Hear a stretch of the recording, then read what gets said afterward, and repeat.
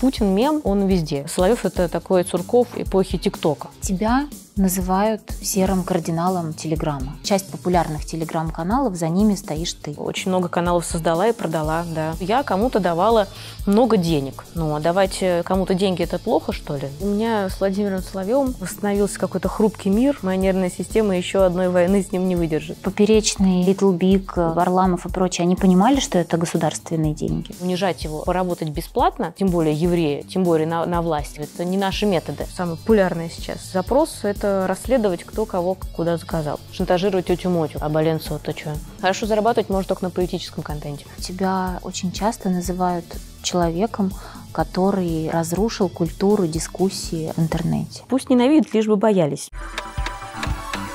Привет, молодец.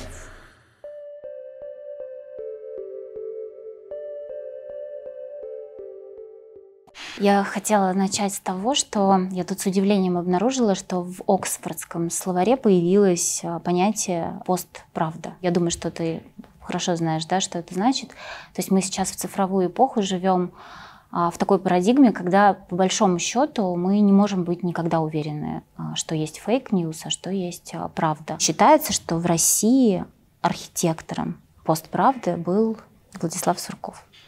И поскольку ты имела отношение к команде Суркова, Тогда еще такого слова не было даже. Многие говорят о том, что ты один из главных э, технологов этой, э, ну, так сказать, этой методики. Это просто прием. А, которым часто медички спекулируют. Обычно постправда кажется кому-то правдой, а, потому что она более вирально подана. То есть это вирусный контент. То, что громче, то, что ярче, то, что лучше всего упаковано, а, то человеку и заходит. И это появляется на поверхности, люди начинают в это верить. Если ты не обладаешь критическим мышлением, не можешь, не способен отличить правду от неправды, то на тебя постправда, конечно, будет оказывать определенное влияние. Это может стать для для массы таких людей проблемой. Ну а если говорить про Суркова, по духу, да, ему это подходит. Но насколько он был родоначальником этого, я не, не, не берусь сказать все-таки. Он создавал мифы, то есть он по классике как бы шел. А, и ему нравилось э, именно застыковки чего-то несопоставимого. А, ну, например? Ну, не знаю, когда либерал поднимает тост за русский народ, там, да, или когда патриот э, начинает выступать за права человека а, что-то такое. А когда он сам в 2011 году поддержал вот эти все э, оппозиционные движения, сказал, что вышла на Болотную лучшая часть общества, это из этой же оперы была история? Ну, это не постправда, но я думаю, что это его взгляд в то время, то есть его убеждения. Ну, вообще, если... А, ну, выглядела как какая-то многоходовка прям. Мне кажется, вот на этом этапе все многоходовки закончились в, в его карьере. То есть, э, как это показало дальнейшие события. А, ну, вообще, в принципе, меня часто обвиняют в том, что я в отношении бывшего куратора не провожала его с фанфарами в «Дивный новый мир». Не хочу и сейчас, но он и, интерес, интересный персонаж. Э, не знаю, какой он человек на самом деле, но то, что персонаж интересный, это точно. В какой-то период э, он э, верил в Путина. Потом, я так понимаю, он поверил в себя или в какой-то дивный новый мир.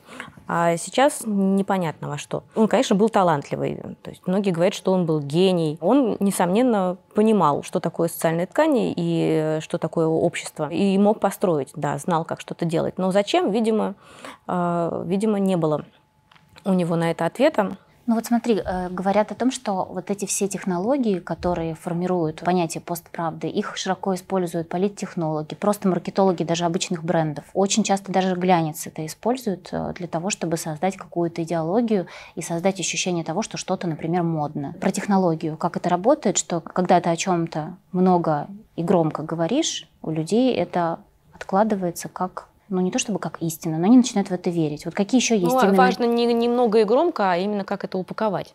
То есть э, посмотри, а, то есть не, неизвестно, был ли Сурков гением, но то, что он был гениальным стилистом, это точно. Он еще тогда, опережая время, знал, что прямое высказывание не работает.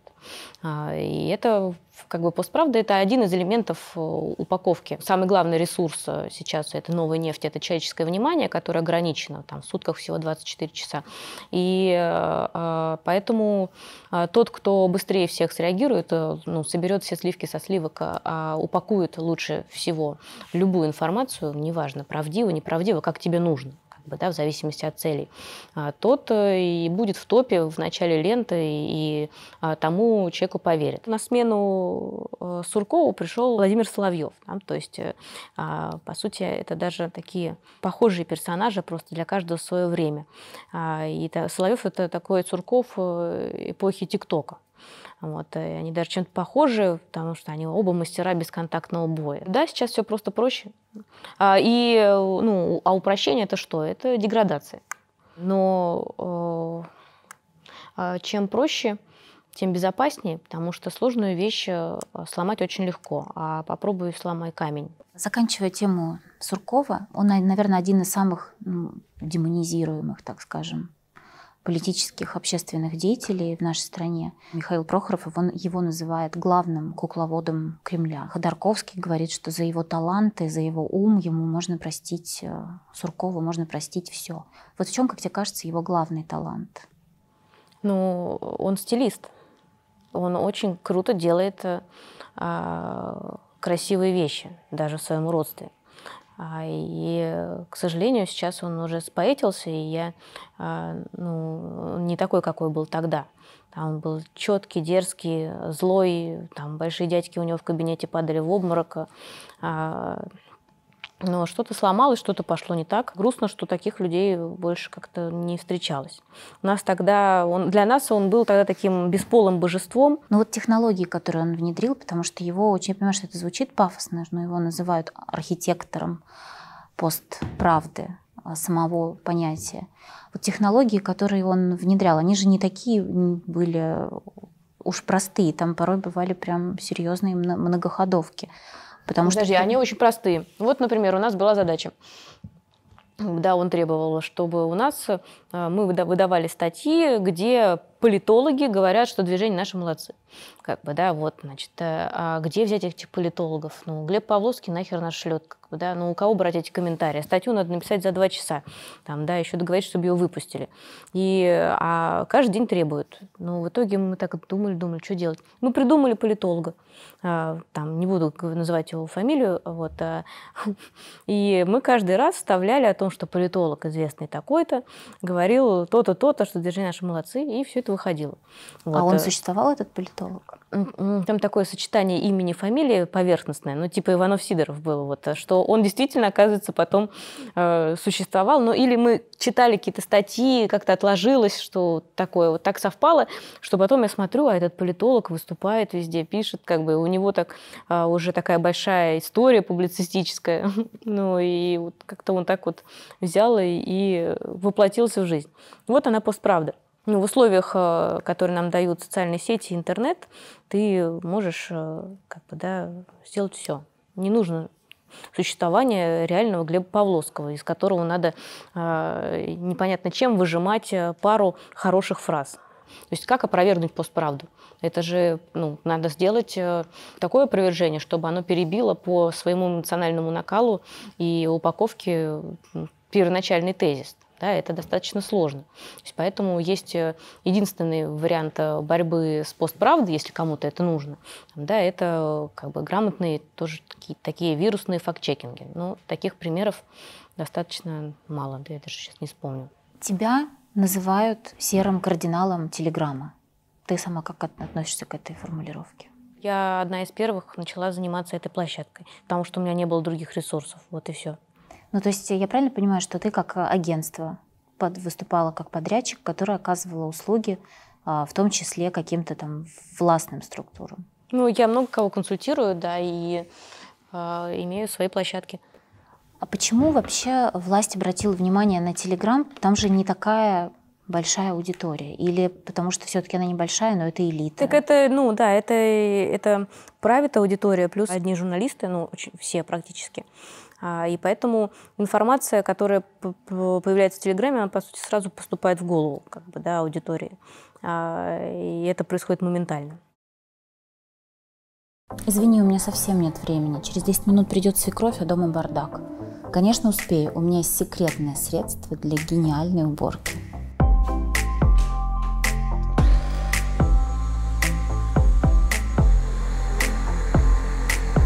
Как же удобно стало жить с этими современными гаджетами.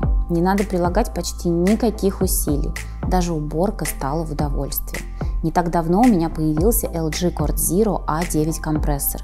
Язык не поворачивается назвать его просто пылесосом, потому что это чудо, а не пылесос.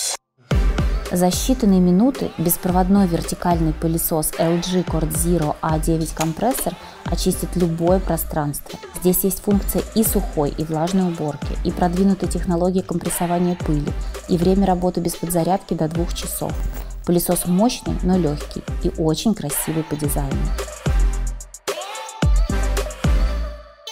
Моя мама сокрушается, что если бы в ее молодости существовали такие приборы, как мой чудо-пылесос, то за право уборки в квартире члены семьи боролись бы. А если серьезно, такой чистоты в моей квартире не было никогда. Я просто не знала до этого, что с вертикальным пылесосом квартиру можно убрать за несколько минут, да еще и не тратя на это много сил. По ссылке в описании все о самом классном устройстве LG, которое буквально изменит ваш быт. А сколько, ты как аналитик наверняка знаешь а, цифры, вот какая общая совокупная аудитория Телеграма? В области политического сегмента не думаю, что больше 100 тысяч. То есть это вот такая совсем небольшая. Но это не а, просто, знаешь, такие эти сторонние куколды. Это люди, которые не просто потребляют информацию, но ее интерпретируют и, и распространяют.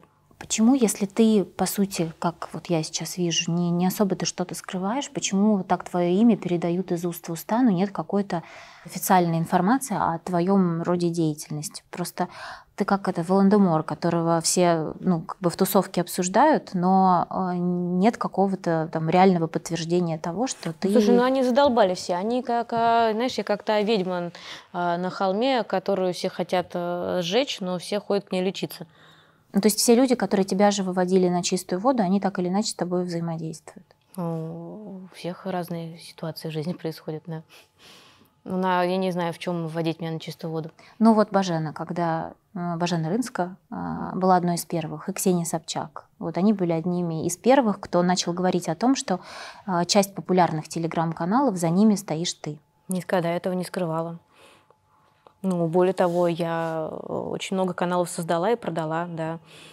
И одна из первых начала это делать. Мне это было интересно. У Кристины Потупчик есть сетка телеграм-каналов. Сетка имеется в виду, что это группа каналов, которые, причем на самую разную тематику, там светская, политическая, какая угодно. Они, как правило, анонимны. Это вообще такой какой-то новый дивный мир, такой плутовской жанр анонимных э, телеграм-каналов, которые люди постоянно гадают, а кто стоит за этим, а кто стоит за тем.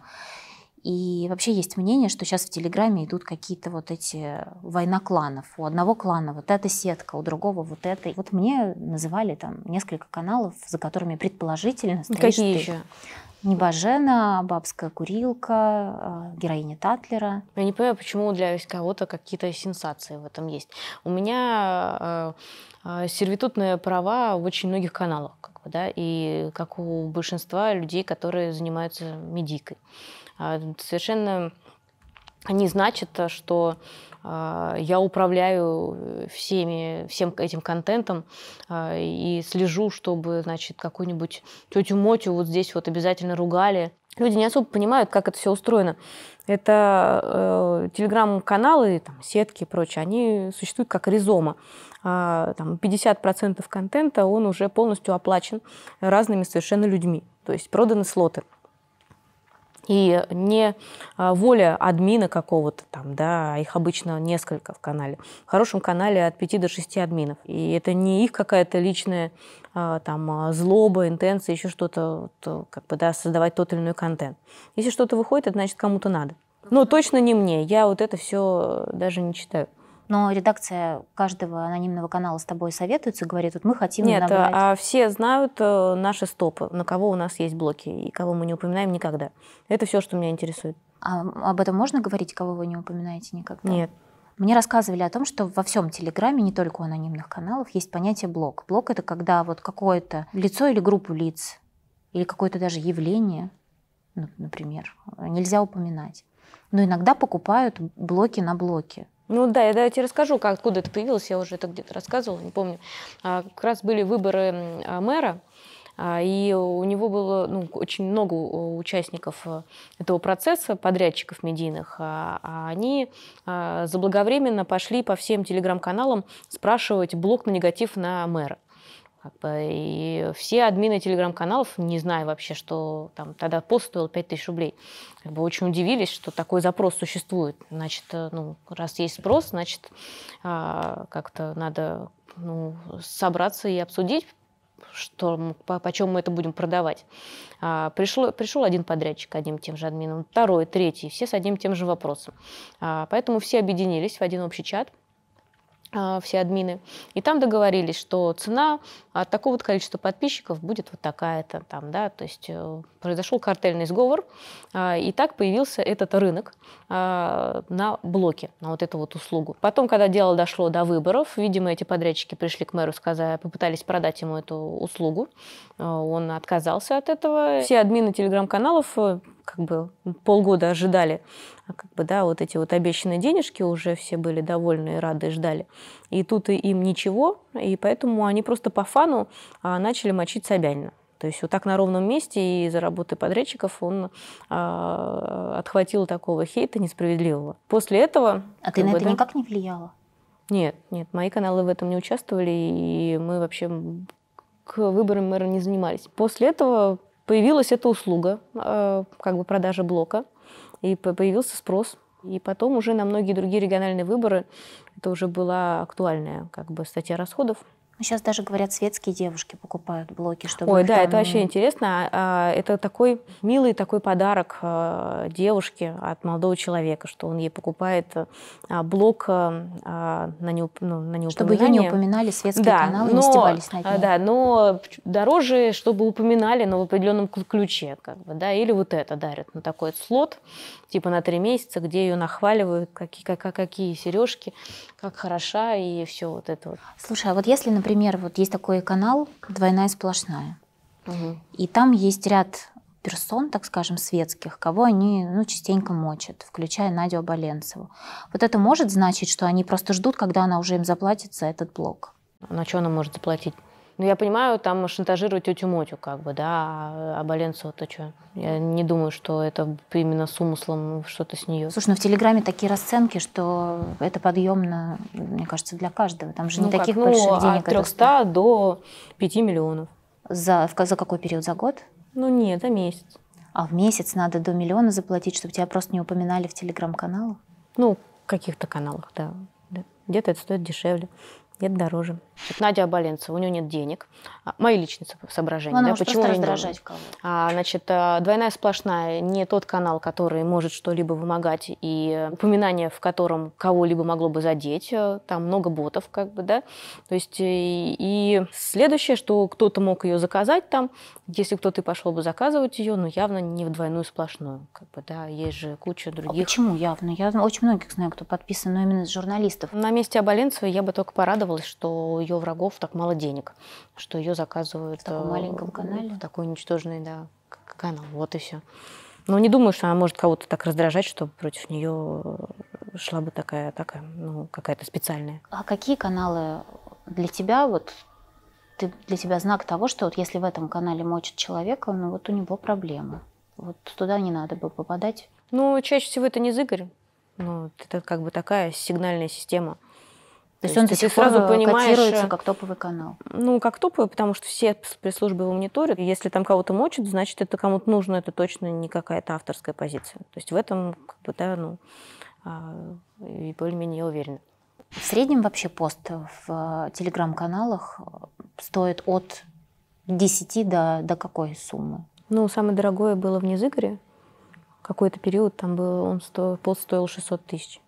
Все-таки анонимные каналы же наверняка дешевле. Посты продают, чем такие авторитетные, как антиглянец. Антиглянец, они не скрываются. Это приличные девочки, которые никому не хамят э, и а, значит, они ни с кем не ссорятся. Я просто про монетизацию. Антиглянец, ну, очевидно, очень хорошо зарабатывают э, на своем канале. Это большой бизнес для всех троих. Хорошо зарабатывать можно только на политическом контенте. Ну, я не знаю, что, что иметь, что понимать под хорошо, конечно. Почему э, в той же «Небожении» или «Героине Татлера» нет столько рекламы? Люди боятся платить анонимным каналам за прямую рекламу. Мы сейчас не про вот эти баны на кого-то, не на, не на блоке, а про, про конкретную прямую рекламу.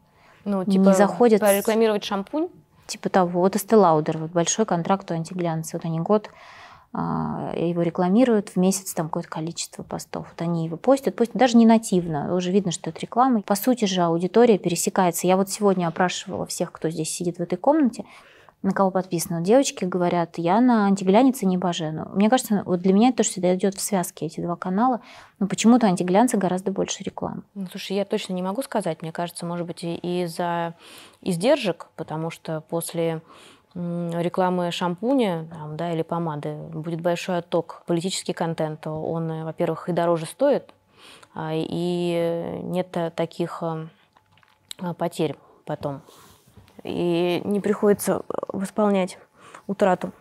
А вообще глобально, вот когда вот эти каналы, которые э, входят там в то, что называют твою сетку, создавались, у них была цель монетизироваться таким путем? Нет, никогда. То есть там была цель, чтобы просто... Да это просто был канала... фан, это как бы просто эскапизм. Никакого умысла такого нет. Я и сейчас на это не рассчитываю. Просто как площадка, куда можно выдавать какую-то информацию. Ну, и там она работает. Появится другая, поведем на другую. Мне очень важно, чтобы все, что меня окружает, было красивым и качественным. А если речь идет о бьюти-продуктах, которыми я пользуюсь, то здесь я особенно требовательна. Никогда не покупаю косметику и парфюмерию на бегу, потому что очень люблю изысканные нишевые ароматы. Ароматы для себя и мужа, а также свечи, ароматические кремы и интерьерные ароматы любимых марок я покупаю на Ламода. Да, на Ламода сейчас можно купить не только одежду, но и уникальные премиальные бьюти-бренды. Самые продвинутые и модные бьюти-марки собраны в одном месте, на сайте Ламода. Ассортимент самый широкий, доставка максимально быстрая.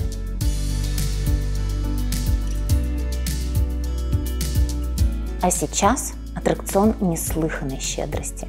Ламода подарит 5 шикарных бьюти-боксов с премиум косметикой. Стоимость каждого 40 тысяч рублей. Все, что нужно, чтобы стать участником, написать комментарий к этому выпуску слово «конкурс» и далее, что для вас значит качество продукта. Представители Ламода выберут 5 лучших комментариев, а в следующем выпуске я покажу вам свой бьюти-бокс и озвучу имена победителей. Пишите комментарии прямо сейчас. Наборы с косметикой вашей мечты ждут вас. А по промокоду «Стрелец» скидка 15%. Ссылка в описании. А почему в Телеграму в какой-то момент э, возникло такое доверие, как к рупору инсайдерской информации, в то время как все понимают, что нет ни одного ресурса, где легче было бы купить рекламу. Почему тогда такой, такой уровень доверия серьезный Телеграму? Если все знают, наверняка же Потому все понимают, что, что, как бы, да, это а, определенный имидж у, у площадки. Сам издату, мы уже говорили, верит а, намного охотнее. А, и плюс э, здесь скорость подачи и доставки информации.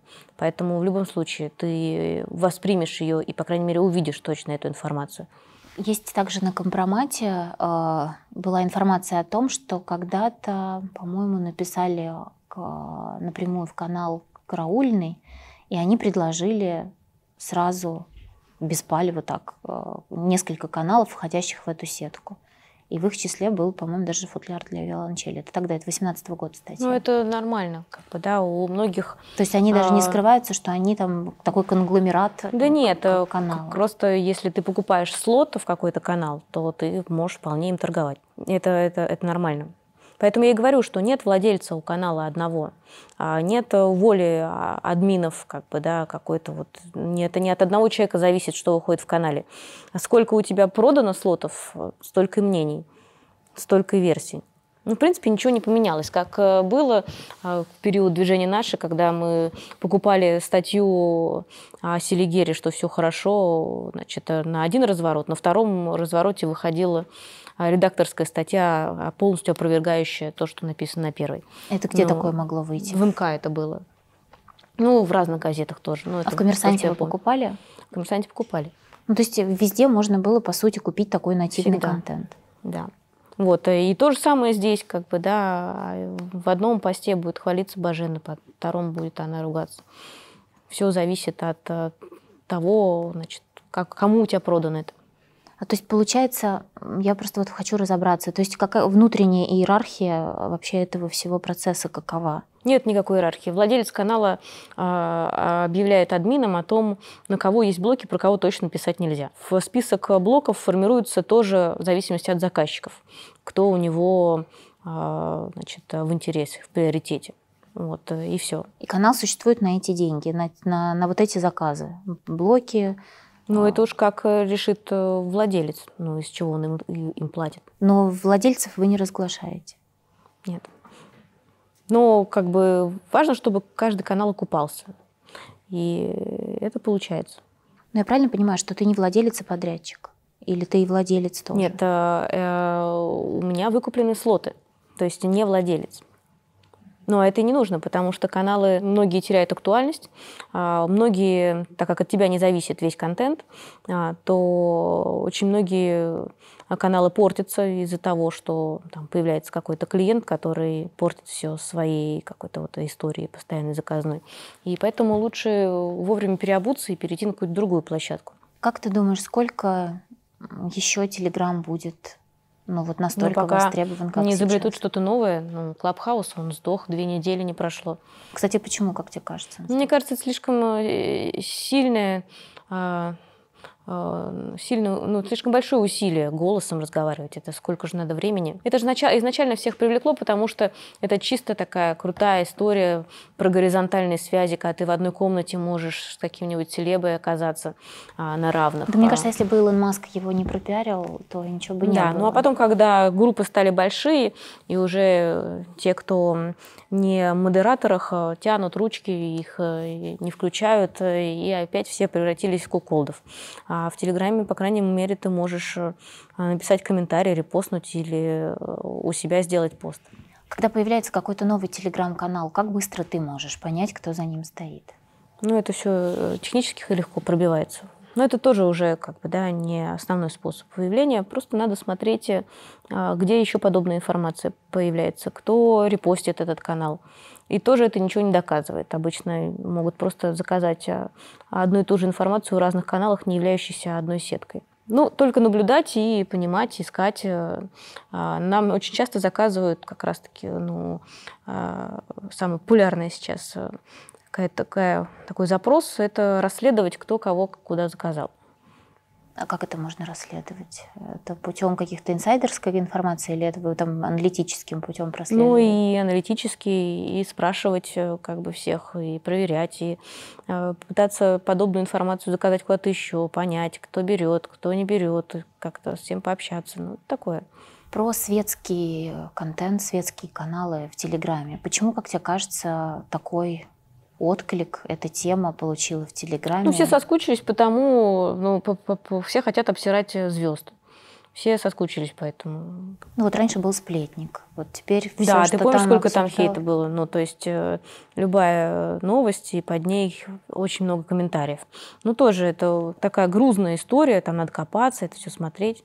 Зачем? Тут все легко, просто быстро упаковано. Вот тебе э, фотка э, кривого лица, как бы, да, вот понеслось. С чем связано то, что, например, в модных хрониках злобные киски, правильно произносю? Злой киски. Злой киски. а, Так любят, например, Снежану Георгиеву, а в героине Татлера любят, например, Наташу Давыдову, тетю Мотю. Э, Может ли это значить, я не спрашиваю конкретно, но просто вот свой, свой путь... Это может быть рас- симпатия админа, это может быть, Ну, э, может это быть может то, быть что выкупленный это- слот. Да. Это все что угодно. Ну, То есть мы можем только догадываться, что это значит, потому что я, например... Нет, если, например, в разных каналах э, Наташу Давыдову хвалят за то, э, как она там, не знаю, села на шпагат, например, какое-то одно действие, То, скорее всего, это, она скорее всего, заплатила. это да. Но если ее везде по-разному как-то на нее обращают внимание, то, может быть, действительно мнения сошлись, и она, правда, чем-то выдается. А то, что вот героиня Татлера так недолюбливает Собчак, это, это говорит о том, что как раз здесь никто ни за что не платил, вот, а хотим просто повысить охват. Ой, ну я не знаю, не представляю э, человека, который бы заплатил за то, чтобы обосрать Собчак. Это же бесполезное дело. Ну, пожалуй, да. Я думаю, что ей только на пользу это все пойдет, поэтому... А какие каналы ты конкретно читаешь, следишь, кто тебе нравится? Кстати, на я сколько каналов Бажену. ты вообще подписана? Я читаю Бажен, у меня около 150. Ну, по-моему, это предел. Ну, больше не могу подписаться ни на один канал, потому что у меня уже все закончилось. Я читаю Бажена, просто отдыхаю душой и сердцем. Вот, мне очень нравится. Не не Бажену, а Бажену, обычную конечно, Бажену. Бажену. А, я читаю «Подъем», и оттуда получаю все новости только оттуда. Читаю ВЧК, ОГПУ, потому что это такая замена футляру. Как бы, да, последний, наверное, такой а, канал, который а, вот, со всеми набросами существует. Читаю «Москва сейчас», ну, читаю «Собчак», «Небожену», «Двойную сплошную», «Форбс», «Бахчисарайские гвоздики», много книжных каналов. Э, Слушай, ну у тебя какая-то дикая просто резистентность к хейту. Бажена с тобой устроила дикий батл, по сути, выводила тебя на чистую воду и чуть ли не судиться с тобой собиралась. Ты сейчас говоришь о том, что это твой чуть ли не любимый канал. Нет, ну это же не значит, что это... Бажена мой любимый персонаж, как бы, да? Но это так или иначе все-таки коррелируется, когда тебе нравится, как человек думает, грубо говоря, какой у него стиль там подачи информации, у человека не сильно, так не, скажем, мне очень нравится этот поток конфабуляции, вещи... который она выдает, и очень забавно это читать, э, смешно выходит. А по поводу конфликта с ней, ну, я не знаю, это... Ну, у вас был да. жесткий конфликт, это не да просто не конфликт. Было конфликта, я никак на это не реагировала. Бажена человек, который а, э, кучу людей обосрала, публичила чужие переписки, там, угрожала людям, бросалась на них, что там только не делала, и тут вдруг она и из-за того, что появился какой-то пародирующий ее канал, она начинает заламывать руки и орать «спасите, помогите, тут меня как бы, да, э, всю жизнь мне ломают». Ну, Слушай, ну вы же понимали странно. А, аллюзия э, на кого это? Человек непростой. Она могла бы прекрасно ну, просто взять и спросить у меня, а, зачем я это делаю, и я ли это делаю. Но почему-то в голову не пришло ей это сделать, ну, пожалуйста. Мне, в принципе, я не против того, что она делает, мне это абсолютно устраивает. Я э, за любой пиар. Репутация – это такое дело, как Невзоров говорил, надо сначала ее полностью разрушить, чтобы на ее месте создать то, что как бы, да, тебе хочется. У меня нету никаких, а, никакого дискомфорта по поводу ненависти, движения «наше» ко мне, а, оскорбления от Бажены или не Бажены. Как бы я ну, а что может это... тебя обидеть? Вот что тебя может вывести из себя? Тебя ни разу не задело ничто, что ты с чем то сталкивалась по отношению к себе? Mm. Даже когда мне приписывают э, распространение межнационального а, порно с карликами-ампутантами. Нет, меня не, это не оскорбляет. А что из того, в чем тебя обвиняли, вот ты можешь сказать, вот это конкретно, вот такого не было, это неправда, это я могу опровергнуть? Ну, мне не хватит, мне кажется, ну как Ну хорошо, времени. вот эти дос-атаки на коммерсант. Мне, мне тогда было 23-24 года, я не представляю, как это э, можно было бы сделать. Но ты а, публично опровергала эти обвинения? Нет. А почему? Я сходила на допрос, э, адвокат все уладил. Никто публично и не спрашивал, если уж на то пошло. Публично все утверждали. Ну смотри, ты же сама говоришь о том, что ту мысль, которую ты транслируешь, без разницы, правдива она или нет, если ее транслировать убедительно, если ее транслировать, э, ну, не то чтобы агрессивно, но не раз и не два, и с определенной частотой, она откладывается. Вот Кудрявцев э, утверждал, что... Не считаю, что Кудрявцев заслуживает моих оправданий. Но если же ничего не противопоставить этому, у всех же отложится. Потому что у меня... Ну, пускай, я, я тебе могу, же... могу сказать, я как среднестатистический обыватель, я настолько часто слышала о том, что он тебя обвинял в DOS-атаках, после того, как вас назвали ликующей гопотой. Ну, для меня это был какой-то вот прям факт непреложный, что так и было. После взлома моей почты спрашивают, а вот а как это повлияло, что и как? Вот никак не повлияло, ну, только в лучшую сторону. А ко мне приходят люди с запросами таких вещей, которые Я не знаю даже, кто мог бы сделать у нас в стране, и я тоже много чего не могу. Единственный минус был от всего этого только то, что а, мне все подрядчики, и с кем приходится работать нанимать, а, выставляются очень завышенную цену, думая, что у меня много денег. Вот и все. Это единственный минус, который, которым я столкнулась. Все остальное меня никак а, мне не может навредить, а, меня не обижает, никакого влияния не оказывает на мою жизнь. А есть хоть что-то в твоей биографии, что ты считаешь э, зашкваром? Зашквар это какое-то что-то тюремное. Ну, имеется в виду, что вот такое что-то, за что тебе может быть даже, ну, как-то стыдно. Никогда мне ни за что не было стыдно. Все ждут, что я буду посыпать голову пеплом, э, заламывать руки, оправдываться, но никогда так не делала и не собираюсь. Я никогда никого не предавала, не подставляла. Мне не за что стыдиться. Что, то, что я делала, я делала в определенный момент э, в соответствии с теми взглядами, которые тогда у меня были. Кстати, про твои взгляды. Они э, как-то очень сильно эволюционировали с середины нулевых. Считается, что ты от такого радикального отношения к власти, радикального в плане того, что ты очень поддерживала власть и была, по сути, как бы одним из рупоров этой поддержки. Сейчас у тебя взгляды более умеренные, такие центристские. А, где-то ты даже поддерживаешь такие а, откровенно такие либеральные ценности, где-то даже какое-то сочувствие, симпатия была к каким-то протестным движениям. Эта эволюция, она с чем связана? Правильно ли я понимаю, во-первых, что это так? Да нет, никакой эволюции нет. Я как была сторонницей Путина, так и остаюсь. Путин говорил, что национальная идея России – это патриотизм я была патриотом, так и остаюсь. А на деле это значит, что я не хочу, чтобы в моей, моей стране сажали за лайки и репосты, там, да, чтобы существовала статья 282. Я хочу, чтобы цены на госконтрактах завышали не в 10 раз, а хотя бы в 2. Там, да. Я не хочу, чтобы чиновники э, использовали закон об иностранных агентов, чтобы давить на социальные НКОшки, которые им не угодны. Э, это не так уж много чего я хочу, и я считаю это патриотизмом. Даже вот если вот взять в пример а, недавно принятый закон о просветительской деятельности, который фактически, а, которую делает э, ну, нелегальный, то тот человек, который это придумал, вот он патриот или вредитель? да, ну, мне все чаще кажется, что за патриотизм нам пытаются выдать абсолютно какие-то безумные вещи. Ну, а я не хочу, чтобы а, патриот, слово патриот стало синонимом идиота. Просто тут ты сейчас очень много перечислила пунктов, которые э, часто фигурируют в риторике оппозиционеров, э, либералов. Если бы сейчас а, у тебя была, была какая-то полемика, например, с Соловьевым, какие бы, как тебе кажется, он бы аргументы со своей стороны использовал? И, кстати, в чем ты, кстати, может быть, с ним согласна? Я думаю, что у меня нету а, такого а, психологического ресурса, чтобы эти аргументы выслушать, и, и я не готова к этому. Есть ли аналог сеток у либералов? Ну, наверное, есть. Ну вот смотри, для того, чтобы работать с общественным сознанием, например, там есть подрядчики, которые обеспечивают э, ну, какой-то нужный информационный фон для власти.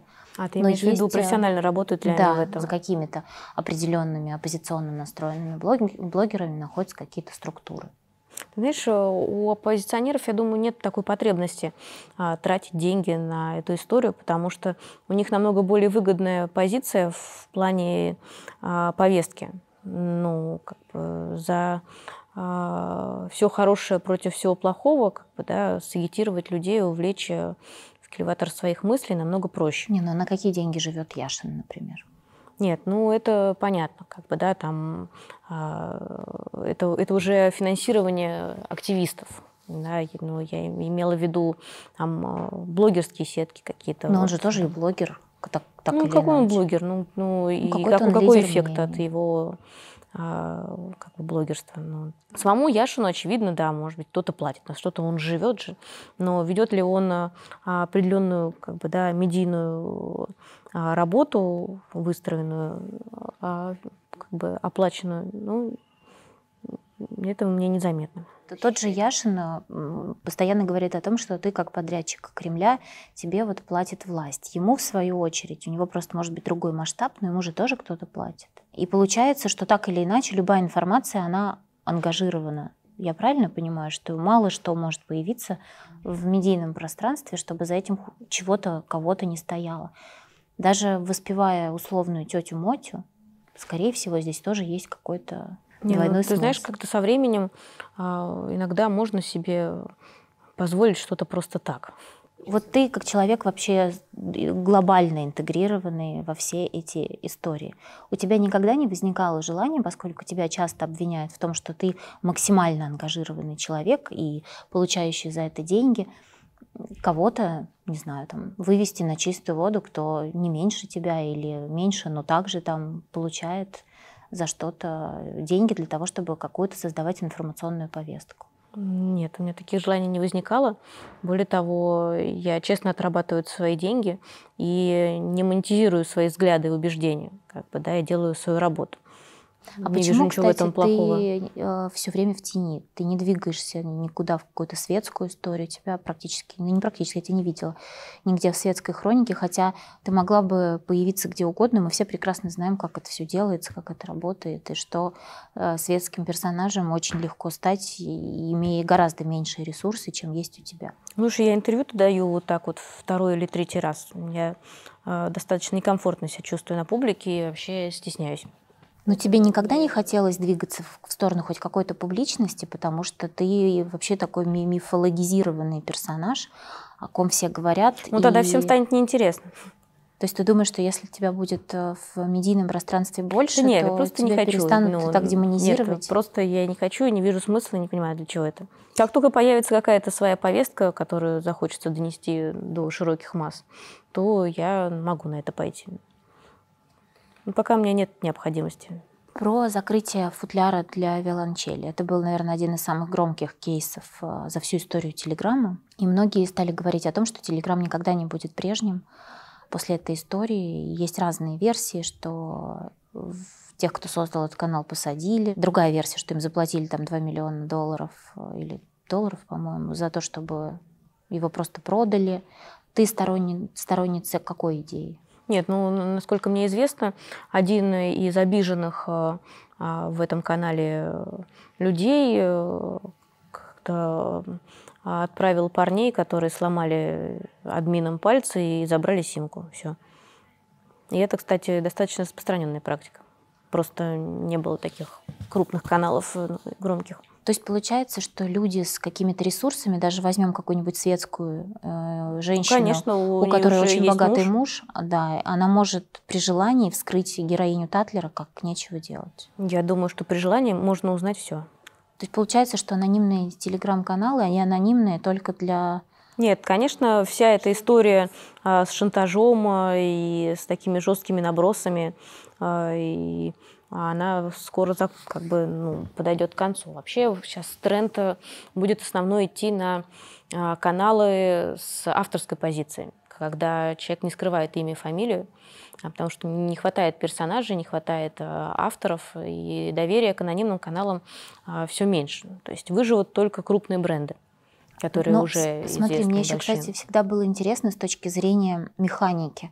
Вот существует канал, который я очень люблю, героиня Татлера, например. Я понимаю, что можно как угодно, кто угодно может за всем этим стоять, и там может быть сложная иерархия, но для того, чтобы так писать о тех вещах, о которых э, они пишут, среди райтеров должны быть очень интегрированные в светскую тусовку люди. Ну, поэтому этот канал и выживет. И э, кто-то подозревал, что там Лучининова пишет, кто-то подозревал, что Женя Милов пишет э, и так далее. Но здесь каким-то образом нужно все-таки интегрировать туда знающего человека.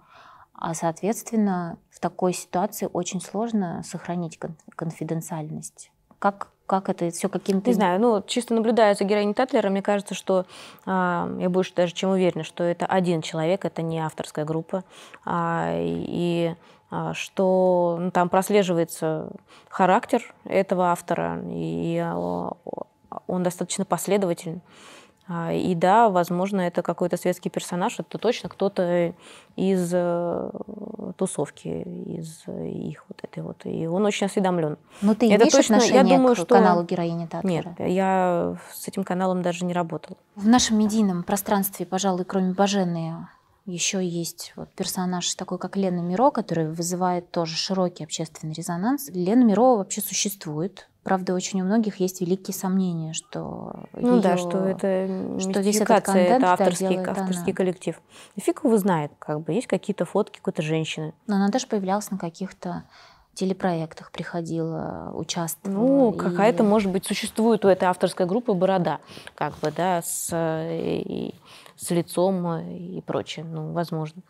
Ну, как, как проект вполне коммерческий, мы тысячу раз там покупали все что угодно, поэтому Ну, то есть получается так, что я, я просто слышала одну, одна из версий, что это тоже как бы твой продукт. Это не так. нет.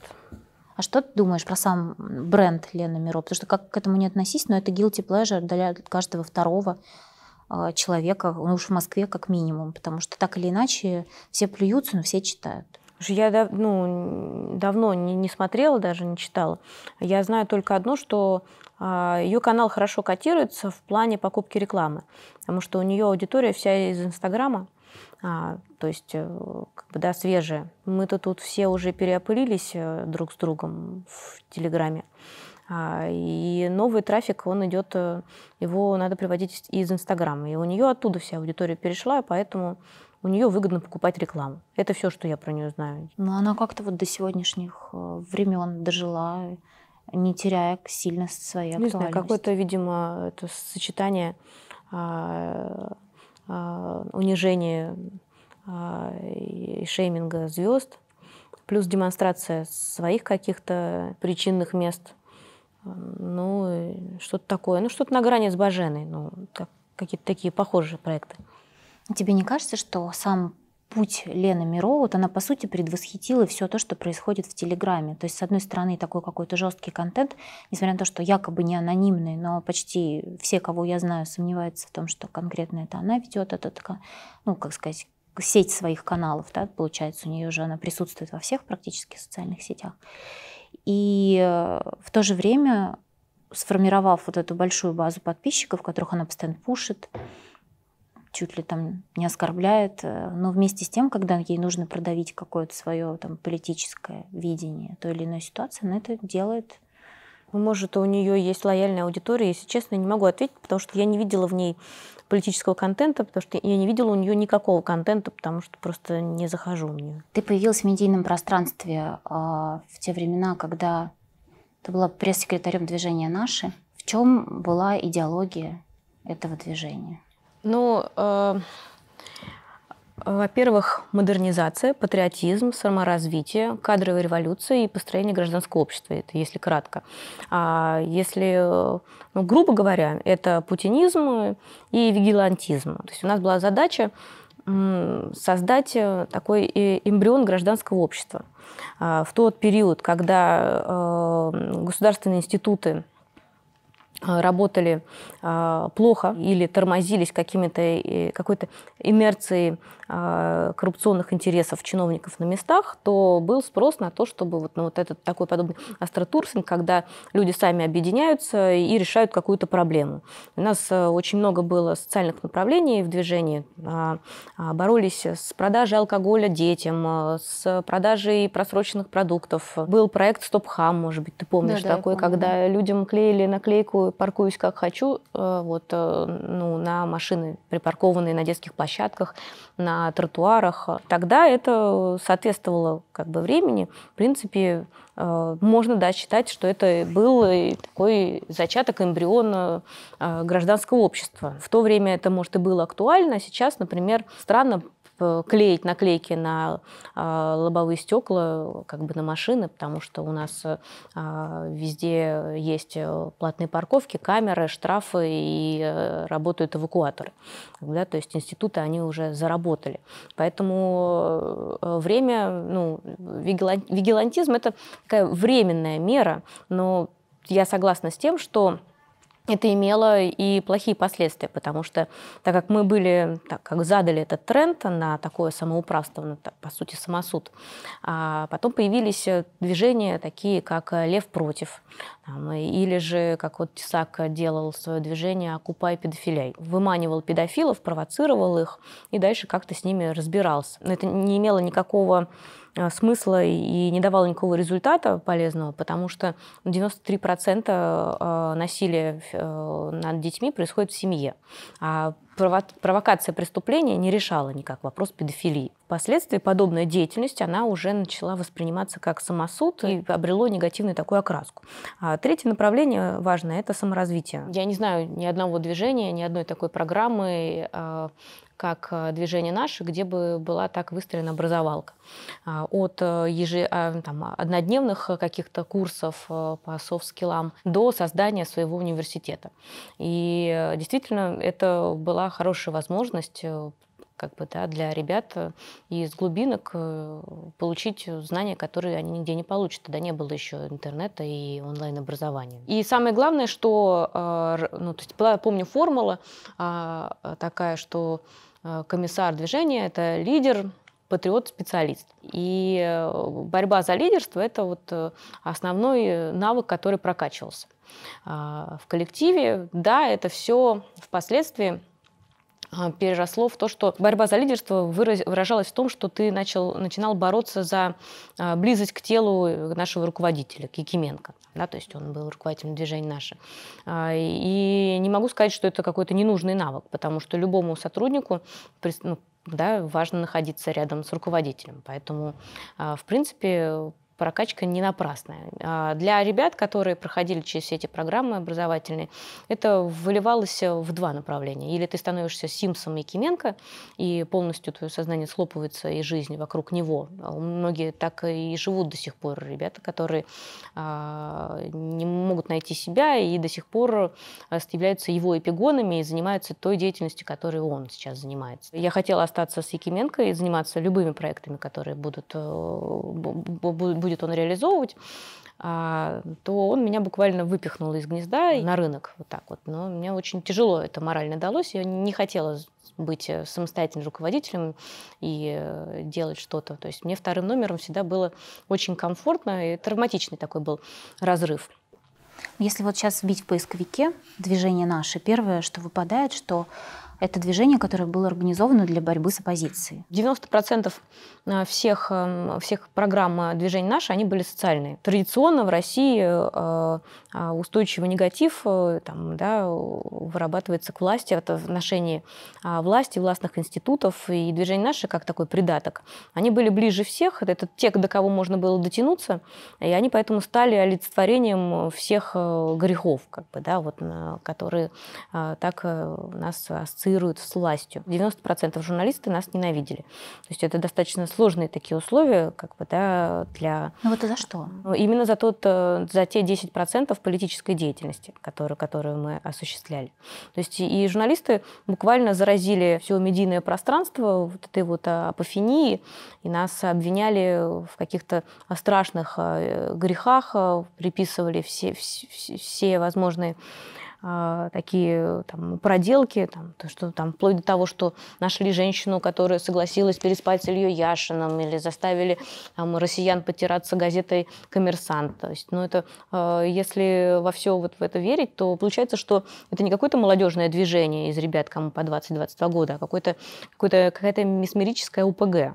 А, вот, и, и да, с этим приходилось работать, то есть э, такое такой, такой образ да, сложился. Вот, и... Одна из причин критики всегда была связана с тем, что у наших было какое-то фантастическое просто финансирование. То Собчак тогда в «Марио» Якименко встретила. Ну, он и... там наел-то, господи, на там четыре устрицы, там, рублей на 800. Это ж не такая уж фантастика. Плюс, когда его переписку хакнули, он там выбирал себе квартиру за миллион долларов э, в каком-то ЖК. Ну, мог себе позволить, думаю, и сейчас может, да. Ну, это ну ты же не считаешь, что люди должны работать бесплатно? Как-то сопоставляли, мне, по-моему, кто-то, по-моему, Яшин, да, сопоставлял его как бы реальные доходы с той квартирой, которую Якименко выбирал. И... А где он посмотрел его реальные доходы? Якименко активно занимался бизнесом в 90-е, как и, и многие люди в нашей стране. Уже когда движение было расформировано практически, большая часть э, сотрудников как-то оказались за границей. Кто-то в Америку уехал, кто-то в Германию, кто-то еще куда-то. Ведут такой, насколько я понимаю, буржуазный образ жизни. Ну, ты знаешь, э, в рамках вот этой борьбы за лидерство, которая э, была в движении «Наши», там, невозможно было заурядному человеку куда-либо продвинуться. Да, многие ребята уехали Маша Дрокова, э, э, она работает в Америке, какой-то там известный пиарщик. Ну, много кто хорошо устроился, и это, это логично, это нормально. А ты с кем-то поддерживаешь связи с бывших коллег по нашим? Только с теми, кто работал в моем коллективе и до сих пор со мной работает. Так, э, в принципе, я ни с кем не вижусь. А календарь Путина, это же был э, для Путина, да, как правильно? Календарь для Путина. Да, это была такая. Это был наша... твой проект. Тогда считалось, что МГУ самое оппозиционное место, да, там все ненавидели Путина, и э, и мы с моими товарищами Владимиром Табаком и Максимом Периным сделали такую историю. Фишка была в том, что самые оппозиционные девушки Москвы раздеваются для президента. То есть это так зашло. То есть это были студентки журфака МГУ? Да, да. И вы придумали такую концепцию, что они это эротический календарь и ну, всякие такой достаточно забавные... интеллектуальный, да, там были фразы, это же не просто какая-то пошлая такая порнота, нет. Ну, там леса потушили, а я все еще ну, горю. да, там это вот были это такие ну, мемчики, такой. каждая страничка это мем. А потом в календаре писали даже международные крупные да, информагентства. было очень-очень много. Ну, все, все зарубежные СМИ написали, и он еще долго потом гремел. Вот если на примере этого кейса вот говорить о каких-то технологиях влияния на общественное сознание, вот какая здесь преследовалась цель и какая использовалась методика? Ну, вирусный контент. Мы тогда только начи- начинали вообще прощупывать эту историю. А, и в тот же период а, Вася любил собирать э, различных там разных интересных э, ребят, э, талантливых из разных областей. Мы тогда познакомились с Юрой Дегтяревым. У него просто вышло два вирусных ролика. Там, не помню уже какие точно, но они так нас поразили. Такой был шок-контент какой-то. Мы его пригласили работать с нами.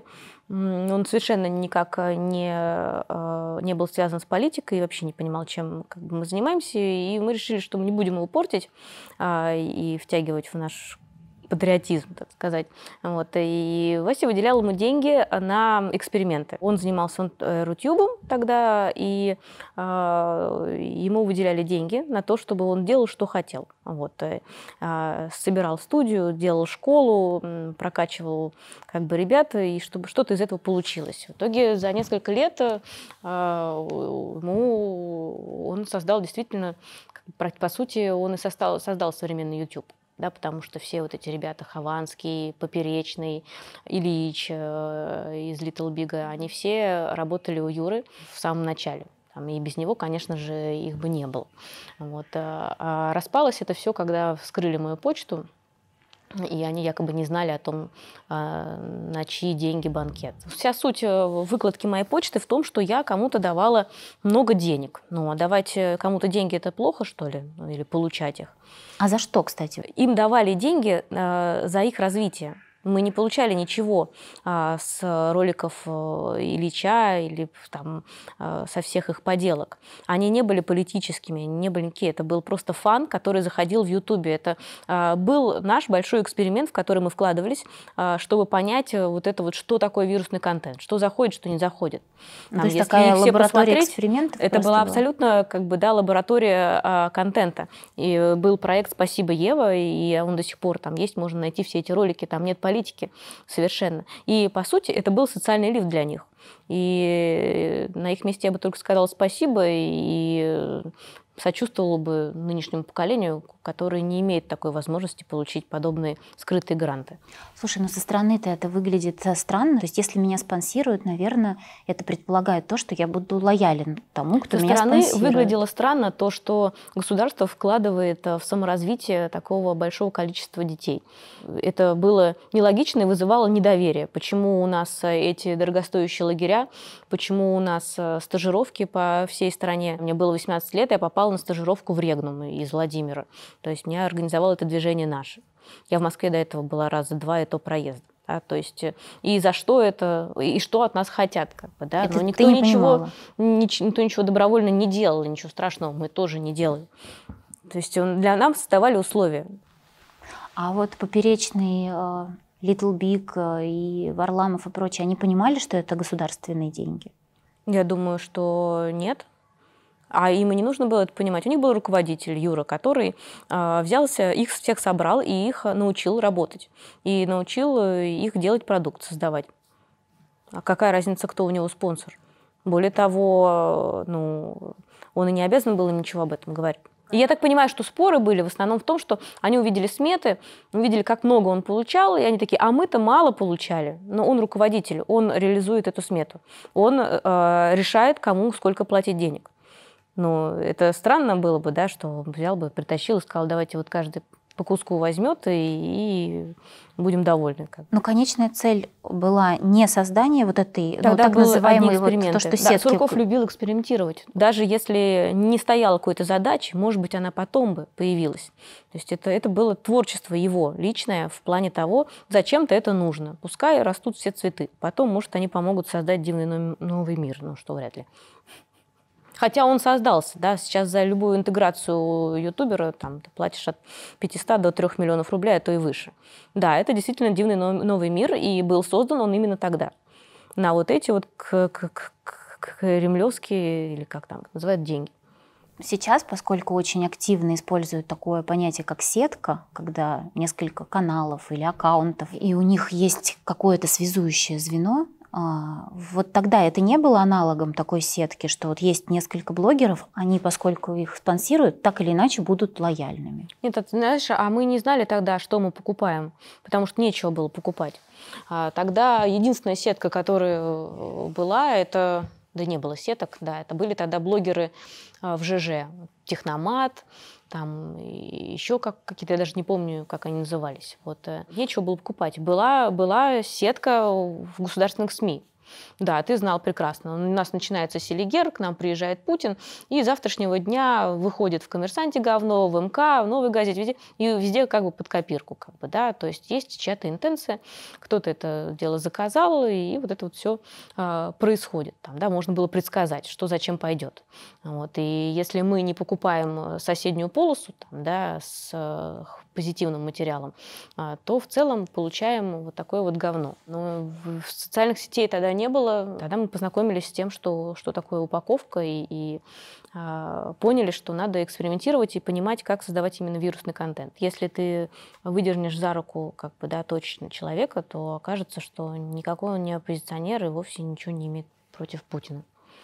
Но это, кстати, был тогда тот период, когда э, образ Путина только в- начинал вписываться в контекст вообще, в культурный, медийный.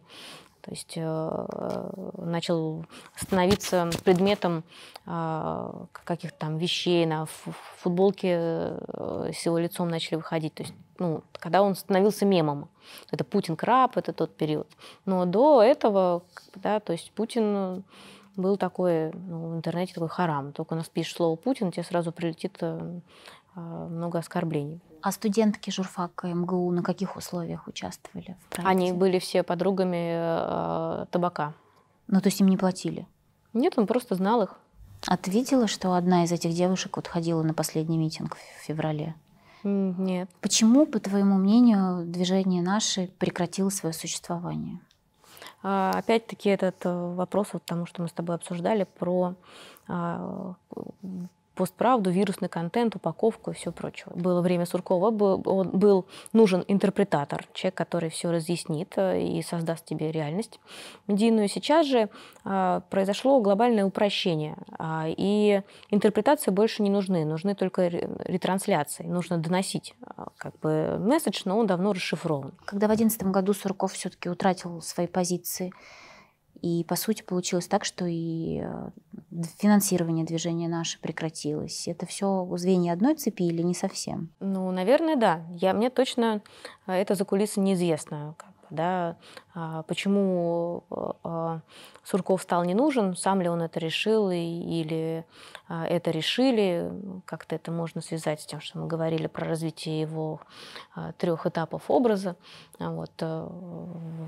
Я не знаю. Но да, это был его проект, его задумка. А, и понятно, что нас воспринимали как его ресурс, поэтому а, оставлять было опасно. Что изменилось в вашей жизни, жизни членов, так скажем, этого движения, когда вас назвали ликующей гопотой? Ну, э, как бы ничего не изменилось, кроме наверное, какого-то понимания. То есть тогда мы начали что-то подозревать, потому что когда власть тебе говорит, что а, мы э, значит, хотим кадровую революцию, мы вас будем развивать, чтобы вы пришли нам на смену, а мы все для вас делаем, развиваем молодежь, и потом часть этой же власти говорит, что ликующая гопота. Ну, как, было как-то странно.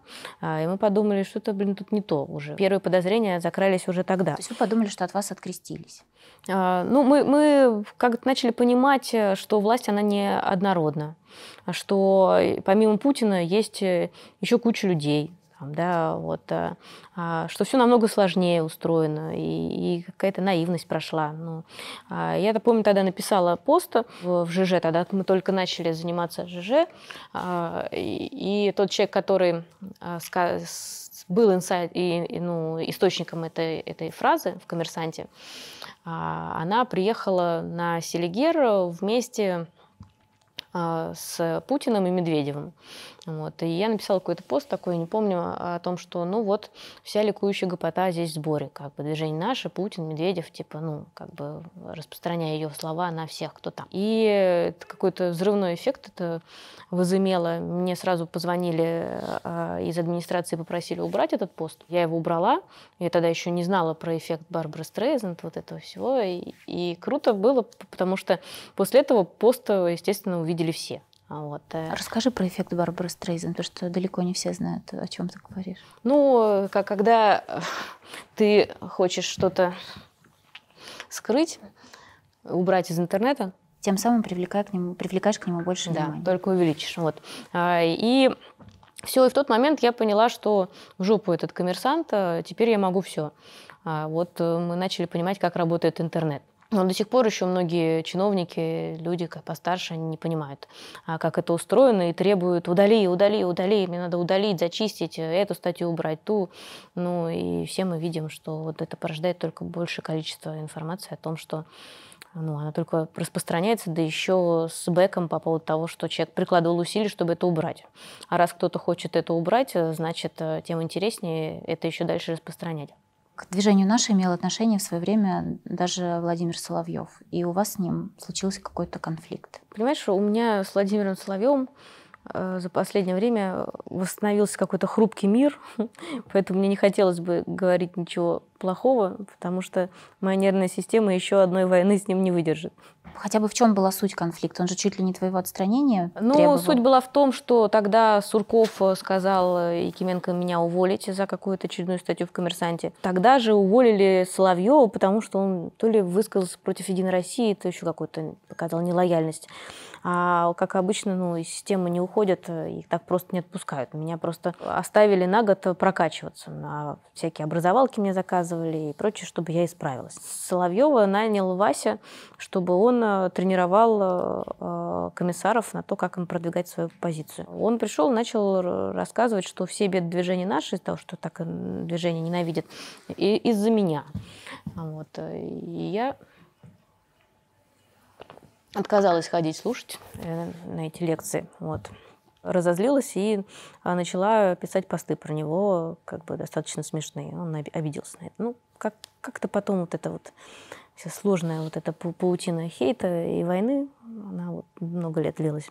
А как тебе кажется, какая технология, может быть, не знаю, как это корректно обозначить, используется тем же Соловьевым? Потому что если есть человек, который, как Кашпировский, фактически может влиять на умы а, людей, хотя, казалось бы, она на поверхности довольно прямолинейная, как бы технологии используются. Это очень это работает на тех а, агрессивное ну, и безапелляционное, без каких-либо там полутонов донесение одной единственной точки зрения. Почему это так эффективно и почему это работает? Потому что есть э, большое количество людей, которые а, не хотят и не считают нужным и вообще не имеют физической возможности подключать лобную долю, а, и на них э, до сих пор действует прямое высказывание. Вот и все. Это пассивный потребитель информации. Но по большому счету, что Соловьев, что Навальный, они используют технологию одну и ту же.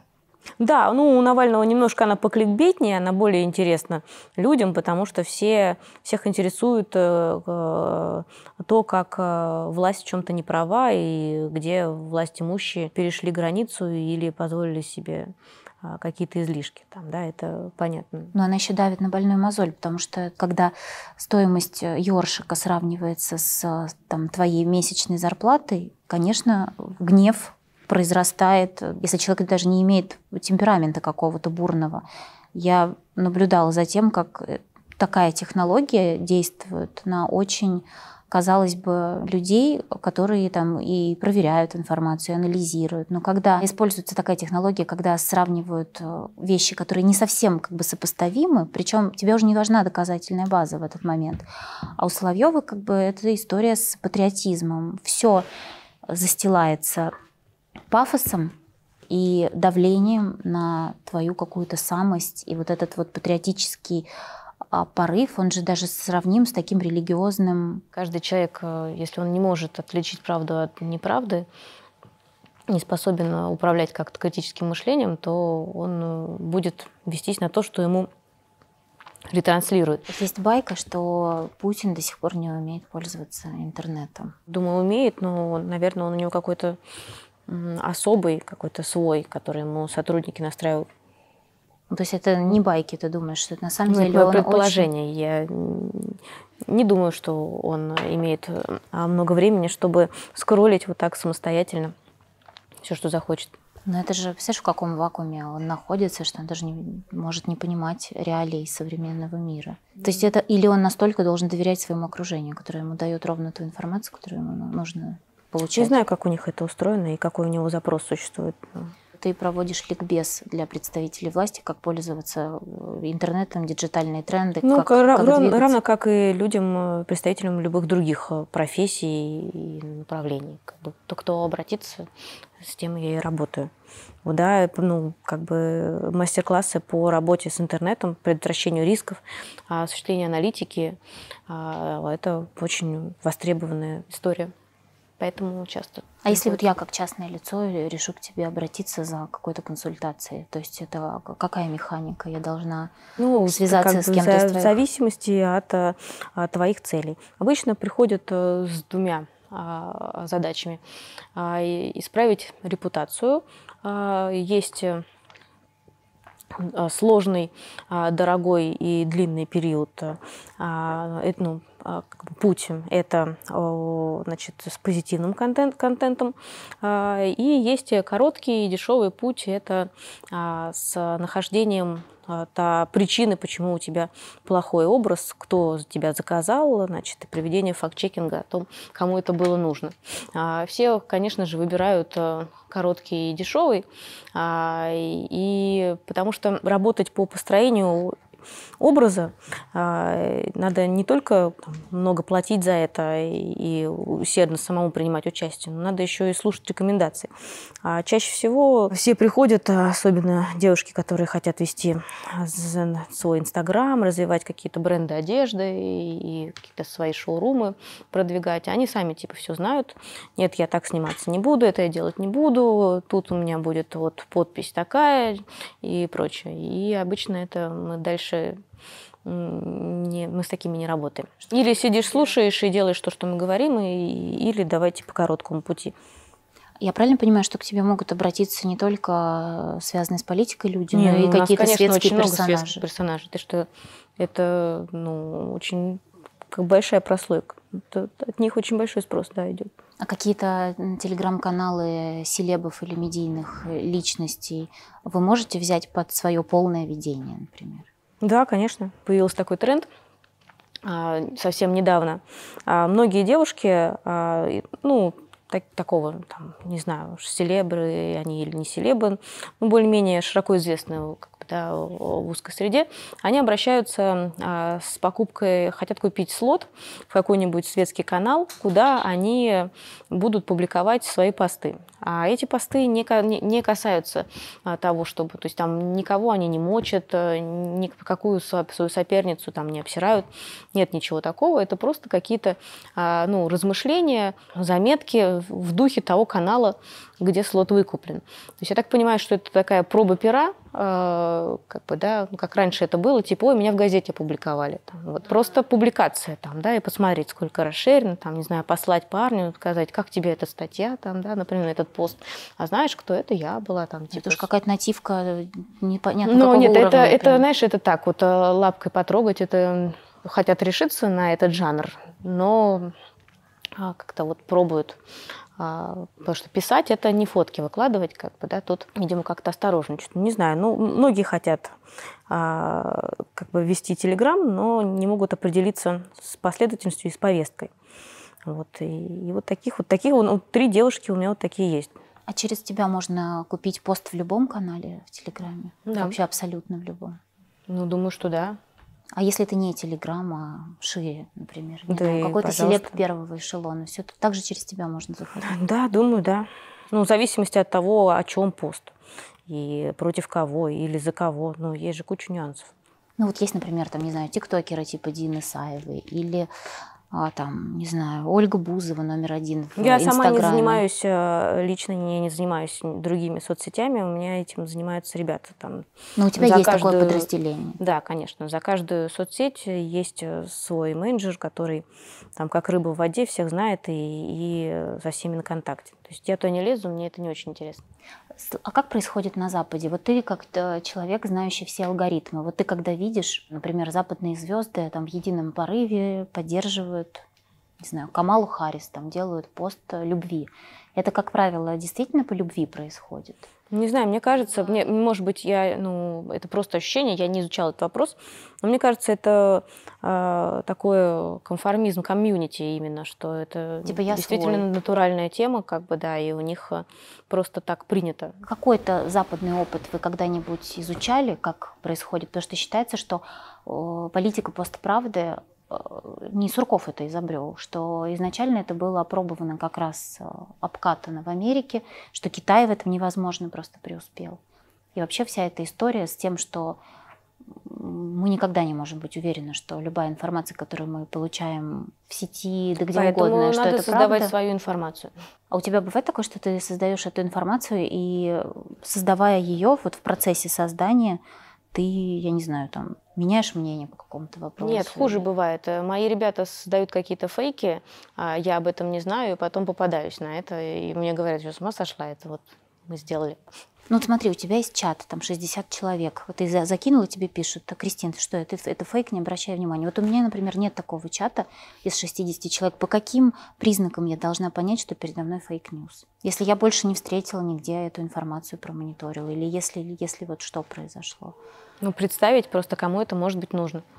Ну, то есть, как правило, за любой информацией политического, светского, любого характера может стоять заинтересованное Ну, смотри, лицо. любой ну, там, ресурс, который публикует ту иную информацию, он делает по нескольким причинам. Во-первых, он или он считает, а, что это интересно людям, и это вызовет эмоциональный отклик, там, да, или же это по заказу. То есть да, надо просто, получаешь этот пост, и надо понимать, как интересно, там, да, кому бы он мог понравиться, этот пост, и что могло бы в нем заинтересовать людей да, и просто вычисли, вычи, вычеркиваешь неподходящий пункт. Задолго до того, как появился Телеграм, а, раньше какие-то настроения серьезные в интернете можно было прослеживать по аккаунтам в ЖЖ. В то время, вот мне просто очень интересно сравнить твой опыт. У меня был такой, на заре моей карьеры, у меня был опыт работы на Первом канале. Мы запускали проект «Городские пижоны». Это был, особенно в первом сезоне, очень такой эстетский, классный проект. Он выходил в ночное время, но это была совсем не аудитория Первого канала. И чтобы ее найти, а там были очень классные, качественные сериалы типа «Офиса», «Californication», mm, да. А, всякие документальные фильмы про Джима Моррисона. Очень классный, качественный контент. Совершенно как бы там, какой бы среднестатистический зритель Первого канала случайно не нарвался после какого-то вечернего фильма на этот проект, почти, ну, наверняка он выключил бы телевизор. И, соответственно, у нас была создана такая на время, там, на несколько месяцев, такая креативная группа. Мы заводили аккаунты в ЖЖ, какие-то левые, активно взаимодействовали с этой частью продвинутой аудитории, которая потенциально могла бы быть э, зрителями, по сути, да, это потребителями этого контента. И после того, как аккаунт чуть-чуть прокачивался, хотя бы месяц, там полтора, когда к нему возникало доверие, мы вбрасывали туда вот эту информацию. А, кстати, на Первом канале вот есть такой-то классный проект, теперь можно и искать не в ну, интернете. Ну, понятно, нативочками. Да, это была такая нативная история. Вот то, что вы делали в ЖЖ, хоть сколько-то похоже на, на это? А, нет, потому что а, перед нами ставили задачу а, искренне, чтобы э, это и было именно чтобы каждый комиссар писал то, как он думает, как бы, да, что если это не является частью его убеждений, там, да, то он и не нужен здесь в движении.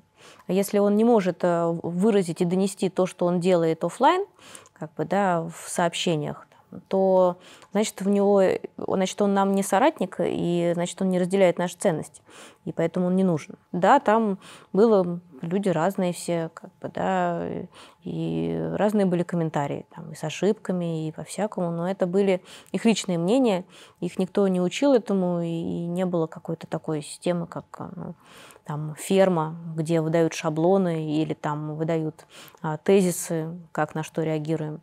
Ты контролировала создание вирусного контента. Вот мы на примере календаря Путина понимаем, что это за контент, который может и сам разойтись, и даже международные там информагентства его могут подхватить. И как бы это пример того, как а, что-то залетает само по себе.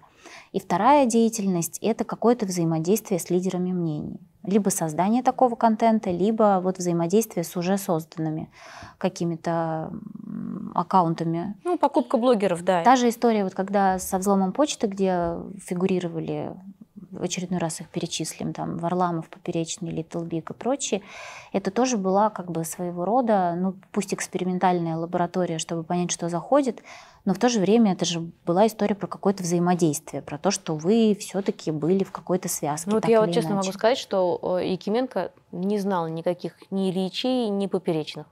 Ему было абсолютно все равно, кто у Дегтярева в команде и кто они. Он их визуально на роликах как бы видел, но ему это все было не нужно. Было именно а, попытка понять принцип э, там, да, создания чего-либо. А Варламов, так это мне вообще непонятно, почему его пытают все Собчак, э, еще там Дудь, кто-то его спрашивал, берет, за, почему он брал у меня деньги, правда ли он их брал и прочее.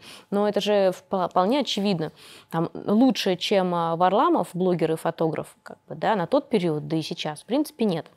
А, и понятно, что а, отфоткать президента приглашаешь лучшего человека в стране. Предлагать такому специалисту и унижать его поработать бесплатно, тем более еврея, тем более на, на власть, как бы, да, ну, это не наши методы. А, конечно, да, ему заплатили, но он этого не скрывает. А, более того, он за любую свою деятельность берет деньги, и он это всем объявляет. Это нормально. Я не знаю, как бы, кто бы не пошел э, пофоткать президента. Это странно, конечно, но Поэтому я не понимаю, почему все так удивляются на предмет Варламова и пытаются его в каком-то зашкваре Я понимаю, почему а, все обвинить. удивляются. Потому что он так или иначе все-таки имеет отношение к людям критикующим. Многие... Да он вообще-то за здравый смысл. Нифига он не критикующий, никакой он не оппозиционер, и у него очень много рациональных, как бы, да, центристских идей, и он э, всегда был адекватным парнем, который полностью на стороне здравого смысла. А за что вообще вы готовы были платить? Потому что вот эта история, когда тебя допрашивала на дожде, по-моему, Собчак, почему ты носишь только наличных, вот за что конкретно вы э, платите? Вот, например, пригласили Варламова поснимать за, э, за контент, но вам было важно, чтобы это сделал именно Варламов, потому что в связке с ним значимость такого контента становится как-то серьезнее. Нет, Варламов президента фотографировал бесплатно. Он фотографировал для нас а потом наши а, другие объекты и поездки. Там, Якименко куда-то он там какую-то колонию ездил, несовершеннолетним и прочим. То есть, да, за это он получал деньги. Но президента он э, фоткал бесплатно, естественно. Это большая привилегия. Ну, ну вот за что еще, за какого рода контент? Э, блогерский или там просто не блогерский, какого-то значимого, социально значимого человека вы могли заплатить? Ну, в то время, ты знаешь, они как-то не было того кого-то на рынке такого, кого хотелось бы купить, что он был бы прям так уж необходим. Тогда был период, когда проще и интереснее было создать своего персонажа, чем мы занимались. Ну, какого своего персонажа вы создали? Ну, который... видеоблогеров, да. Ну, например, кого? Ну, некоторых мы уже с тобой обсудили, а тех, кто еще не совсем зашкварный, я называть не буду, чтобы не портить им жизнь. Ну, то есть это сейчас активные действующие видеоблогеры, которых, э, которые тоже появились благодаря вашим, вашей поддержке, так скажем. Ну вот смотри, а, как бы, да, я поняла, о чем ты. Эксперименты не закончены. А как, э, что такое вирус и что может стать вирусным контентом, можно только предсказывать. Все меняется в каждую секунду, все зависит от мемов ситуативных.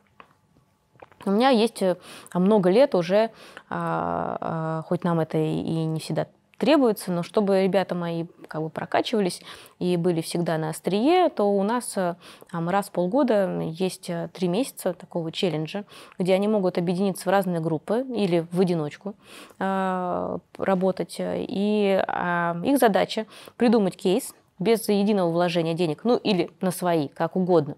Мне пофигу, как бы, лишь бы это а, сработало. А, сделать такой а, супервиральный кейс, который бы вышел бы а, в глянце, в газетах, а, на телек попал, ну, как минимум, а, не меньше ста публикаций, о котором бы говорили, а, ну, как бы писали бы во всем интернете.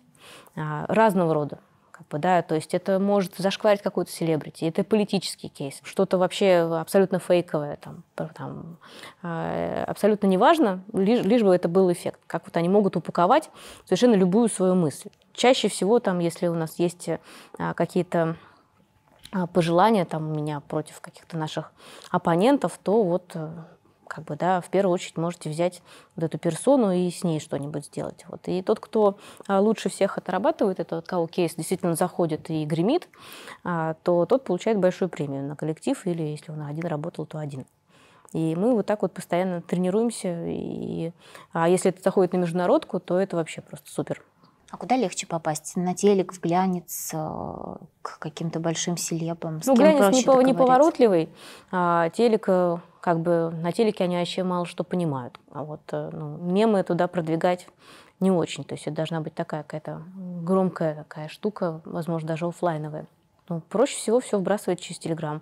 Ну, к вопросу вот о Телеграме. В свое время, а, после того, как ЖЖ, можно сказать, умер, но он как-то функционирует, но он не имеет такой уже больше значимости, да, и социальной, и, и политической, какой угодно. До какого-то момента а, власть вообще не верила в интернет. То есть верили в шесть печатных изданий и в телек. Что изменилось, благодаря чему все-таки они развернулись ну, потому что власть интернету. транслирует одну позицию через э, свои ресурсы, а в комментариях и в соцсетях э, люди эту информацию интерпретируют по-своему, и там совершенно другая обратная связь. Просто увидели обратную связь. До этого же она была не видна. Ну, как бы, да, в телевизор не напишут в ответ на новость. Было понятно, что э, прежние методы доставки информации не работают. Долгое время говорили, что это все э, боты, или все это машинка, или это все оппозиционеры пишут, что это все не натуральное мнение не людей, как бы, да, вот. Но все равно объем-то нарастал, и, и поэтому не учитывать это мнение э, становилось уже невозможно. И в какой-то момент вот эти все основные дискуссии э, перетекли в Телеграм, потому что ЖЖ, ну, он же морально Нет, устарел. Нет, так было. Знаешь, э, ЖЖ было уничтожено, потому что появилось очень много спама в комментариях. И, а, так как э, основная жизнь социальная как бы, да, бурлила именно в комментариях, там посты не особо важны, там как раз были все дискуссионные площадки, то на, там начали спамить, э, в чем нас и обвиняли, а, различными какими-то флудом, картинками и прочим, так что коммуникация была невозможна между пользователями. И, по сути, так вытеснили аудиторию из ЖЖ, и мы все пошли в, теле... в Твиттер. А, и какое-то время, там, да, вот пару лет а, Твиттер стал основной площадкой. Более того, тоже очень удобно, потому что короткое, быстрое сообщение сразу попадало там, в обзор журналиста, который на тебя был подписан. То есть такая а, более поворотливая история. Но потом в Твиттере появилась куча ботоводов, спекулянтов, школоты. Люди ушли в Фейсбук, где и стали там, вот, обсуждать все, что связано с политикой. Но потом алгоритмы Фейсбука поменялись, а, и уже сложно было а, как бы, да, тебе из-за алгоритмов выдачи, ты не мог а, смотреть то, что ты хочешь. Плюс в тот же момент а, появилась а, как раз а, вот эти вот первые посадки за посты и лайки и за репосты. Статья 282 в принципе, стало небезопасно а, даже лайкать что-то, и поэтому а, аудитория вытеснилась а, из Фейсбука и вообще из медийного пространства существующего на ту площадку, которая гарантировала безопасность и анонимность, как бы, да, в Телеграм. А, и опять-таки, ну, сначала Телеграм был не политизированный, там люди туда приходили, чисто был как территория для эскапизма. Там были культурные каналы, исторические. А потом, как раз-таки, когда вышла книга Зыгоря «Вся кремлевская рать», она такая, ну, вообще, в принципе, в тот момент повысилась спрос на такие подковерные информацию, такую скрытую. И появился канал «Незыгорь», а, в Телеграме. А, как раз это совпало с а, АПшной пересменкой, когда уходил Володин, но еще не знал, кто придет на смену Володину. Месяц где-то все думали, гадали, Низыгорь как раз-таки выдавал все версии о том, как бы ну, там, спекулировал инсайдами о том, кто может прийти на смену Володину. И поэтому все журналисты и активисты, и политические блогеры наблюдали за Незыгорем. Наблюдали, наблюдали, потом а, как бы, да, тоже включились и начали создавать свои аккаунты там. А, вот. Э, и а, как-то вот у нас так в стране повелось, что культура доверия к сам издату, она намного выше. У меня есть цитата с сайта компромат.ру, который ты наверняка знаешь. Они говорят о том, что первые каналы, которые появились в Телеграме, только создавали иллюзию, что есть какие-то информированные источники инсайдеры. При этом при отсутствии свободных СМИ и закрытости власти всем надо было ну, вот что-то это есть читать. правда, да. И вот, собственно, вот цитата с компромата. Попытка продемонстрировать информированность была обманом. Особенно хорошо это было видно на примере Низыгоря. Его авторы просто ждали ночи, когда федеральные газеты публиковали свежий номер на сайте. Брали инсайды оттуда, печатали их под видом собственной информации, пока большинство читателей не успевали понять, что эксклюзив Это можно медиалогии просто посмотреть украден. было в 12, да, и быстрее всех. Но это опять к вопросу тому, что кто быстрее возьмет информацию, лучше всех упакует и выдаст,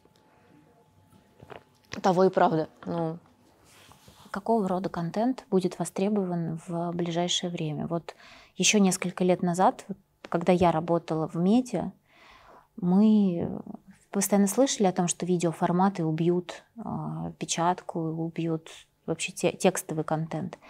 Но так или иначе не совсем так произошло, потому что Telegram со своим текстовым контентом, контентом жив. Но, опять же, как мы поняли, для такой узкой, сегментированной, элитарной части аудитории думающей. А массовая аудитория сейчас все-таки на Ютубе, ее очень действительно там много. И как тебе кажется, куда это будет развиваться и насколько вот это, ну, ты уже так говорила о том, что от анонимности все-таки к персоналиям будут двигаться. Вот еще пару слов про тренды. Ну, про то, то какой контент победит, победит удобный контент. А, тот, который э, будет э, самый быстрый, а, лучше всего упакованный, самый лучший срез, собранные сливки со сливок и быстро и ярко, доступно тебе будет доставлен. То есть мы же ну, не смотрим, я не посмотрела ни одного интервью Дудя, Собчак и прочее, как бы, да, я все это смотрю в нарезках. Вот, э, и подписаны на те каналы, которые я точно знаю, сейчас вот они это смотрят. Сейчас все, что важное там было, как бы, да, все мемчики нарежут, и все, в принципе, вот за этот короткий срез ты все поймешь, что там было. Как бы, да, вот, э, ну, удобство, потому что внимание ограничено, э, а информации очень много. И надо, чтобы кто-то ее, ее упорядочивал. Тот, кто будет делать это лучше всех, а автор это или анонимная группа а, как бы, да, райтеров, неважно. Но тот, кто лучше всего справится с упорядочиванием этого гигантского потока информации, тот и, и победит. Ты постоянно говоришь о том, что нужно развивать критическое мышление, чтобы в этом Нет, может, кому даже и не нужно. Многие счастливы в таком состоянии. Никогда тебе не хочется самой разобраться, понять, это на самом деле так или это все вообще абсолютный фейк. Меня как-то ну, не приходится даже совершать какие-либо усилия, это какая-то профдеформация, потому что есть чат с сотрудниками, там сидит 60 человек, просто кидаешь им ссылку, ребята, ты что, забей, забей, фейк, фейк, фейк, как бы, да, это все за секунду а, как бы, да, пропускается через... Ну, у тебя, э, видишь, профессиональная комьюнити, которая это все идентифицирует, а у человека, например, нет а, такого возможности и ресурса быстро понять, фейк это или нет. Ну, например, тот же Артемий Лебедев, который вляпался с тем, что опубликовал новости о том, что у, у Юли Навальной э, немецкое гражданство. Ну, я так думаю, что он наверняка искренне верил в это, когда это публиковал. Ну, хорошо, ошибся человек, и чего? Ну, и он испортил очень сильно себе репутацию. Даже те люди, которые его поддерживали, ну, то есть у него проблемы появились. Ну, испортить репутацию в стране, где нет института репутации, конечно, очень сложно. Смотри, для того, чтобы прийти с рекламой а, к какому-то блогеру, с а, какой-то нативкой, ты все равно да. понимаешь, что этому человеку больше доверяют. К разговору о том, какой контент э, победит, почему нужны авторские блогеры. Да? То есть э, человек э, выбирает для себя те площадки, которым он доверяет да, таким-то блогером, таким-то аккаунтом, и все, и живет в этой реальности, созданной этими людьми, этими аккаунтами, на которые он подписан. Тут вопрос в том, как э, сделать этот выбор.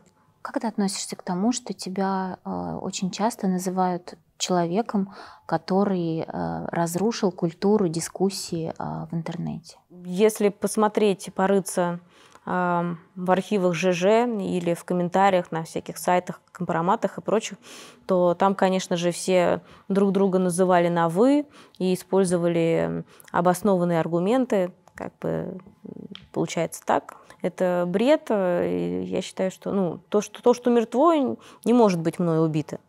Но да, допускаю, что, конечно, космогония Рунета не была бы так полна без меня. Ну а тебе льстит то, что у тебя вот так, такой властью наделяют. Пусть с негативным каким-то оттенком, но признают за тобой власть, влияние на общественное сознание.